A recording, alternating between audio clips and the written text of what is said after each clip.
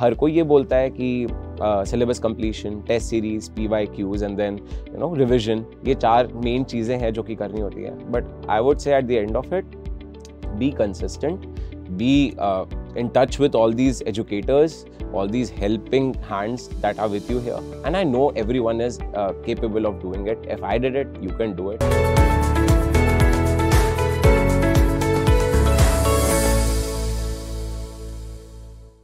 Welcome to Baiju's Exam Prep Spotlight, a show where we bring our achievers into the spotlight and learn from their inspirational preparation journey. Today we have Devam Mishra with us, who secured All India Rank 7 in Engineering Services 2022 and make his family, friends, Baiju Exam Prep whole team proud. So first of all, Devam Mishra, very very warm welcome to Baiju Exam Prep. Thank you. Thank you so much, sir. So so, Devam हम आपसे strategy discuss करें या कैसे आपका पूरा journey था वो discuss करें उससे पहले थोड़ा सा हमारे व्यूअर्स को अपने बारे में अपना इंट्रोडक्शन एक बार ब्रीफ बता दीजिए आई एम देवम मिश्रा मैंने 2013 से 2017 तक दिल्ली टेक्नोलॉजिकल यूनिवर्सिटी में civil engineering bachelors of technology किया था then in the final year मैंने टॉल बिल्डिंग्स में एक प्रोजेक्ट किया था, जिसके बाद I got interested in masters in structural engineering I applied for the masters in the U S and I got admission in in tech वहाँ दो साल मैंने पढ़ाई की देन डेढ़ साल वहाँ पे हाई राइज बिल्डिंग्स में काम किया। फिर उसके बाद मुझे आना था इंडिया ही तो मैंने I came back after the first wave जब फ़र्स्ट वेव खत्म हो गई थी and from twenty twenty August September I decided to start my journey for E S C so I gave E S C twenty twenty one and then the result for E S C twenty twenty two are here okay Devam मेरे ख्याल से अभी hundred ten students तो select हुए हैं 2022 में। उसमें से सिर्फ़ आप ही ऐसे स्टूडेंट होंगे जो बीटेक के समय आपने इंजीनियरिंग सर्विस का बिल्कुल नहीं सोचा। आपने जीआरई एग्ज़ाम दिया। जीआरई के थ्रू जॉर्जिया गए अमेरिका वहाँ आपने एमएस किया yes. तो ऑफकोर्स उस समय आपको इंजीनियरिंग सर्विस तक दूर दूर तक कोई ख्याल नहीं था बिल्कुल नहीं सर उस समय आपका ख्याल क्या था कि मेरे को एमएस करना है बाहर से और फिर प्लेसमेंट लेना है सर यही ख्याल था कि मास्टर्स ऑफ़ साइंस करनी है एंड uh, वहाँ पर मैंने बैरी गुडनो सर से भी पढ़ाई की थी okay. जिनके हम लोग बुक कभी रेफर करते हैं तो वहाँ पे भी बहुत अच्छा एक्सपीरियंस था देन डेढ़ साल वहाँ काम किया पर एक चीज़ मुझे क्लियर थी कि at the end of the day I have to come back to uh, my country. I have to come back to my family, and uh, my parents also wished that. तो इसलिए during the pandemic market was also down तो इसलिए I decided to come back okay 2020 में आप वापस आए। During the pandemic after the first wave engineering service का क्या सोचा और आते ही कहीं और जॉब स्विच किया या प्रिपरेशन में लग गए? सर मेरे लिए कोविड वाज एन अपॉर्चुनिटी क्योंकि market was down and uh, मुझे पता था कि अभी सारी जॉब्स में भी इतना कोई फ़ायदा है नहीं। तो इसीलिए वो एक साल मैंने घर पे बैठ मैं घर पे बैठा हुआ था एंड uh, मैंने पढ़ाई की। After the COVID third wave was over I applied for jobs in multi corporation and I got a job at Bechtel Corporation this year तो देवम जब आप यहाँ 2020 में आए और आपने सोचा कि आप प्रिपरेशन करते हैं तो आपने कैसे शुरुआत करी? क्योंकि आपको बीटेक का जो आपका स्टडीज़ था उसको तीन साल हो चुके थे। Yes, आपने एमटेक में सिर्फ़ स्ट्रक्चर्स पे फोकस किया होगा। बिल्कुल सर तो आपने कैसे शुरुआत करी? कितना समय लगा फुली प्रिपेयर्ड होने में? तो वो एक जर्नी थोड़ी स्ट्रेटेजी कैसी थी आपकी उस समय पे ये थोड़ा सा बताइए। सर मेरे लिए थोड़ा इंटरेस्टिंग था क्योंकि मैं वहाँ एकदम यूनिट्स ही अलग थे फिट्स इंचेस वगैरह पाउंड्स चलते थे। FPS unit. F P S units और यहाँ पे एम के एस यूनिट यूज़ होते थे। वहाँ पे कैलकुलेटर बहुत एक्सटेंसिवली यूज़ होता था यहाँ प्रीलिम्स में तो कैलकुलेटर अलाउड ही नहीं है। तो when I started my preparation the first thing was going through the syllabus and deciding कि मुझे करना क्या है मतलब किस तरीके से I have to approach the syllabus तो प्रीलिम्स की तैयारी करते करते मैंने सबसे पहली चीज़ यही की थी कि आ, सारा सिलेबस साइड बाय साइड अपना कवर किया एंड एक्सटेंसिवली क्वेश्चन सॉल्व किए क्योंकि मुझे कैलकुलेटर से हटना था। बहुत गंदी आदत लग गई थी इसीलिए वो मेरा पहला स्टेप था for the next three four months then फिर prelims mains after I got a hang of it then फिर प्रिपरेशन होती गई सर ओके तो आपके फेवरेट सब्जेक्ट्स क्या थे ड्यूरिंग प्रिपरेशन, जब आपने वापस इंडिया आके अपनी इंजीनियरिंग सर्विस की प्रिपरेशन की? तो कौन से सब्जेक्ट्स थे जो आपको बहुत ईजी हुए पढ़ने में? सर मुझे स्ट्रक्चर्स uh, मुझे लगा था मुझे बहुत अच्छा लगेगा बट स्ट्रक्चर्स uh, के अलावा soil was a very good subject जो कि मुझे लगा था एंड देन मुझे airport and tunnelling because it was a very new thing और बहुत एडवांसमेंट्स हो रहे थे तो मुझे उसके बारे में जनरली पढ़ने में बड़ा मज़ा आता था। तो वो दो सब्जेक्ट्स आई नो लोगों को इतने अच्छे नहीं लगते बट मुझे बहुत पसंद आए थे उस टाइम पे। ओके तो आपने इंजीनियरिंग सर्विस की प्रिपरेशन के साथ साथ गेट की प्रिपरेशन भी की या आपने गेट का एग्ज़ाम भी दिया कि सिर्फ़ इंजीनियरिंग सर्विस एग्ज़ाम अटेम्प्ट किया? सर गेट वगैरह पे मेरा इतना फोकस नहीं था, क्योंकि मास्टर्स मेरे पास था ही। बट जैसे बाईजूस एग्ज़ाम प्रेप की गेट वीडियोस आती थी, वो मैं एकदम गेट से पहले कुछ कुछ वीडियोस में देख लेता था कि मेरा गेट की तरफ़ ओरिएंटेशन हो जाए। एंड मैंने बिना ऑनेस्टली बिना एक डेडिकेटेड प्रिपरेशन का I got a under thousand rank तो ये जो यूट्यूब में वीडियोज़ हैं बाईजूस एग्ज़ाम प्रेप की they were very handy at that point of time and then उसके बाद फिर मैंने गेट ट्वेंटी टू मैंने सोचा कि देने का कोई फ़ायदा नहीं है। Let's focus on one exam at that point of time okay engineering services में जो पेपर वन है जो नॉन टेक्निकल है जिसमें करंट अफेयर्स एथिक्स आईसीटी आता है तो वो तो शायद आपने उसमें बहुत सारे टॉपिक फ़र्स्ट टाइम पढ़ रहे होंगे। आईसीटी वगैरह या आपके पास इंजीनियरिंग सेफ्टी हो गया ड्राइंग हो गया। ड्राइंग आपने फ़र्स्ट ईयर में पढ़ा होगा थोड़ा बहुत लेकिन engineering service point of view से फ़र्स्ट टाइम पढ़ रहे थे। Yes, yes. जो टेक्निकल से एकदम हटके था।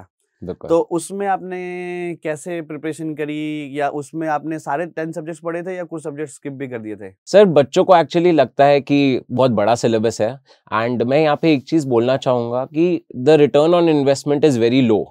तो इसलिए सारे सब्जेक्ट्स करने की ज़रूरत नहीं है। आपके कुछ सब्जेक्ट्स पहले से ही स्ट्रांग होते हैं being an engineer. Engineering mathematics aptitude वगैरह तो उसमें आप अच्छा सा स्कोर कर सकते हैं। It needs more practice and if you are preparing for GATE then GATE के थ्रू इंजीनियरिंग मैथमेटिक्स कवर हो ही जाती है। But other subjects I don't think कि आपको इतना ज़्यादा टाइम देने की ज़रूरत है। Just give just read the short notes they are available everywhere and and give the mock test आप जितने मॉक टेस्ट देंगे, आप जितने यूपीएससी के प्रीवियस ईयर क्वेश्चंस करेंगे that will be more beneficial than going through the whole subject because it is general studies it just test your general knowledge and that is the whole syllabus is almost infinite तो इसीलिए मैंने उस पर इतना ध्यान नहीं दिया था। Okay okay. और अदर देन नॉन टेक्निकल जो टेक्निकल पोर्शन था, उसके सारे सब्जेक्ट्स कवर किए थे? सर 2021 में मैंने सारे सब्जेक्ट्स तो कवर नहीं कर पाया था बिकॉज़ uh, मुझे थोड़ा सा टाइम लगा था टू गेट एडजस्टेड बट 2022 में I was fully prepared and उस टाइम पे बस मुझे टेस्ट सीरीज़ लगानी थी क्वेश्चंस करने थे. तो 2021 वाज एन अटेम्प्ट जहाँ पे syllabus was not fully completed but 2022 में I completed the whole syllabus okay तो 21 में भी आपने अटेम्प्ट दिया था? Yes. उस समय आप कहाँ तक पहुँचे थे? मैं इंटरव्यू स्टेज तक पहुँचा था। ओके और कितने 805 कट ऑफ़ था उस समय? हाँ, 807 807 कुछ तो आपका कितने मार्क्स थे? मेरे थे टोटल 760 मार्क्स थे उस टाइम ओके तो उस समय जो जो आपको लगा होगा कि इम्प्रूवमेंट एरियाज़ हैं तो आपने इस साल उसको इंप्रूव किया। Yes that was the plan yes okay देवर मिश्रा जब आपका रिज़ल्ट आया ट्वेंटी थर्ड दिसंबर को approximately three thirty P M पर। Yes, तो आप कहाँ थे? आपके पेरेंट्स आपके साथ ही थे? आपने सबसे पहले किसको कॉल किया? कैसा रिएक्शन था? वो एक थोड़ा सा बच्चों को डिस्क्राइब कीजिए। सर 19 टू 23 दिसंबर वाले वीक में लग ही रहा था आ जाएगा। So I decided to go to Dehradun मैं वहाँ था because that's where I started my preparation तो मुझे वहीं शुरू ख़त्म करना था। मुझे पता था कि यहाँ पे मैं व्यूअर्स को एक और चीज़ बोलना चाहूँगा कि आ, आपने तीन चार साल के पेपर्स देख रखे हैं। तो have a ball park figure कि आपको कितने मार्क्स लाने हैं? जैसे मुझे इनिशियली पता था कि मुझे प्रिलिम्स में अराउंड थ्री हंड्रेड मेन्स में around four hundred extra and then interview में वन ट्वेंटी तो it total is eight twenty and that will put me in the list तो मेरे यही था ऊपर नीचे होता रहेगा जैसे प्रिलिम्स में मुझे लगा टू एट्टी के अराउंड आएँगे तो मुझे पता था कि ये ये एक बॉल पार्क फिगर है जो मुझे अटेन करनी है।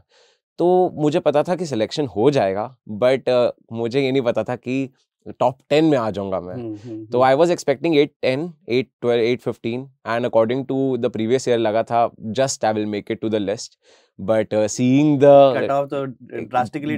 reduce he the result I was very happy I hugged my mother पापा को भी कॉल किया। तो पापा वॉज़ लाइक अनदर डैड पापा कहते कि तुम प्रिलिम्स में ध्यान नहीं देते थे इसीलिए तुम कम रह गए और अच्छा कर सकते थे। But I was very happy and my mother was almost teary eyed मैं एक बार के लिए बिलीव ही नहीं कर पाया था। And then flood of calls came like starting coming in तो it was an unbelievable experience बहुत ही अच्छा था। यूएस का कोई भी experience is can not match this experience of clearing UPSC बिल्कुल बिल्कुल। मेरे को याद है तेईस दिसंबर को उस समय जब नोटिफिकेशन ले रहा था यूट्यूब पर और मैंने कहा कि रिज़ल्ट आ गया तो क्योंकि आप मॉक इंटरव्यू देने आए थे एग्ज़ाम प्रेप में yes. तो मेरे को आपसे मेरी उस समय जो फिफ्थ फ्लोर है एक घंटे बाद भी हुई थी मॉक इंटरव्यू के समय पे यस yes, यस yes. तो मेरे को आपका नाम एग्जैक्टली याद नहीं आ रहा था तो मैंने वहाँ यूट्यूब में बोल दिया था कि ये स्टूडेंट है पर वो बाद में देखा कि आपका तो रैंक सेवन था वो मैंने किसी और स्टूडेंट को डी का बता दिया था यस सर तो मुझे एक्चुअली बहुत अच्छा लगा था आपका जैसे ही नोट आया नोटिफिकेशन आपकी वीडियो आई तो मैंने देखा फिर आपने नाम लिया तो मुझे बड़ा अच्छा लगा कि आपको याद था क्योंकि सर वो इंटरेक्शन मेरे लिए बहुत इंपॉर्टेंट थी। मैंने आपसे मेंस डिस्कस किया था इंटरव्यू डिस्कस किया था एंड उस टाइम पे you were like a friend आप उस टाइम पे यू अंडरस्टूड द फैक्ट कि बच्चे किस प्रेशर के थ्रू जाते हैं। हम्म। तो उस टाइम पे आपने जो टिप्स दिए थे फिर इंटरव्यू में भी बाईजूज एग्ज़ाम प्रेप के मॉक इंटरव्यू में भी जो सत्यजीत सर ने मुझे क्वेश्चंस पूछे थे वो भी बहुत ज़्यादा हेल्पफुल थे। तो क्रेडिट गोस टू यू एक तो साहू सर का जो क्वेश्चन था विंड वाला वो एग्जैक्टली exactly आपके पास मोर और लेस एग्जैक्ट इंटरव्यू में पूछा गया। Exactly exactly. तो मेरे पास सत्यजीत साहू सर का जो इंटरव्यू क्वेश्चन था वो ये था कि विंड एनालिसिस आप कर रहे हो तो हाउ विल यू स्टार्ट तो मैंने वो जवाब दिया था and like the answer and uh, मुझे पता था कि if he is asking then definitely that would be one of the questions that will be asked and then real interview में the question was how will you design a chimney which is again related to wind design तो यहाँ पर मुझसे theoretical aspect में question था तो वहाँ पे प्रैक्टिकल एप्लीकेशन पूछ ली थी। सो बट सर वो mock interview was very fruitful and very it gave me very like huge confidence that there are people backing me up from Byju's exam prep okay आपका जो real interview था वो कितने minutes का था और उसमें टेक्निकल और नॉन टेक्निकल का प्रोपोर्शन कितना था? मतलब टेक्निकल क्वेश्चन कितने पूछे गए और नॉन टेक्निकल क्वेश्चन का परसेंटेज कितना था? सर 25 मिनट्स का इंटरव्यू था। माय द यूपीएससी चेयरमैन जो थे उस टाइम पर, वो आर एन चौबे सर थे and great man great personality उनसे मिलकर बहुत अच्छा लगा।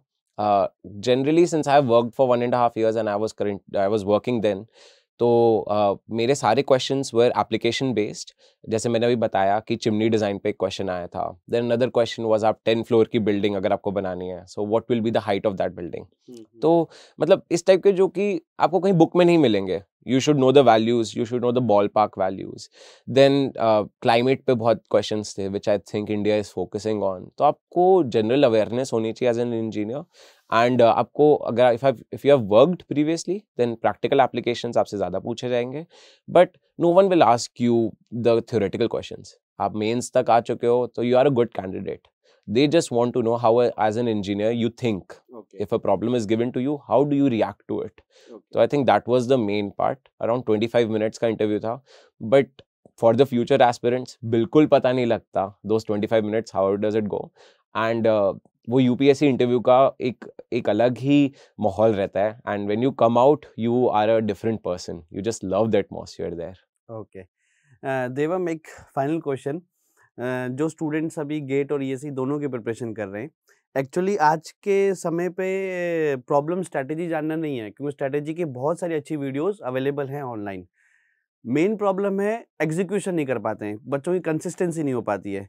तो एक फाइनल क्वेश्चन उन सभी स्टूडेंट्स के लिए, जो स्ट्रेटेजी तो पता है, रास्ता तो पता है, लेकिन उस रास्ते में कंसिस्टेंट नहीं चल पा रहे हैं तो उनको आप क्या कहना चाहेंगे? मैं बस ये कहना चाहूँगा कि I know most of the viewers think that toppers study ten to twelve hours a day ऐसा होता नहीं है। मैंने जब शुरुआत की थी, मैंने सोचा था कि I study for one hour half an hour a day and then वहाँ से I took you know small steps and then I reach to nine ten hours a day वो खुद ही बन जाता है। नो वन प्लान्स कि मुझे दस घंटे पढ़ना है। वो खुद बन जाता है because you are in the syllabus mode आपको सिलेबस कंप्लीट करना है, आप प्लान्स बनाते हो।